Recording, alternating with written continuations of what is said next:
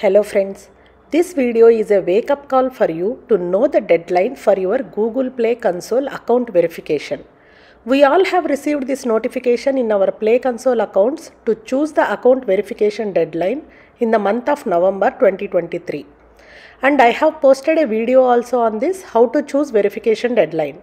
So I hope most of us have completed the process of choosing the deadline before 29 February 2024. See, I have chosen this time slot to verify my account at that time. So, my chosen deadline is August 16 and I will be able to start my account verification from June 17 in Play Console. But if you miss to choose the deadline before 29th February 2024, then you would have been assigned a deadline automatically by Google Play Console. So, to know your account verification deadline, log into Play Console account, go to account details, come down. Here you see the deadline to complete account verification and also from when you can start verifying your account in Play Console. And one important note here is this procedure is applicable only for the old Play Console account holders.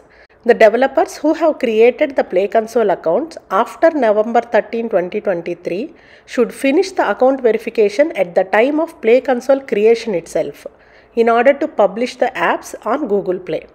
So, if you are having the old Play Console account, check the date from when you can start verifying your account. Be ready with all the required data and documents to prove yourself.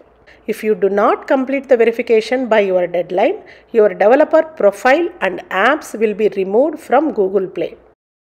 If you think this video was helpful for you, please comment, like and subscribe to iRekha Tech Solutions. Thank you.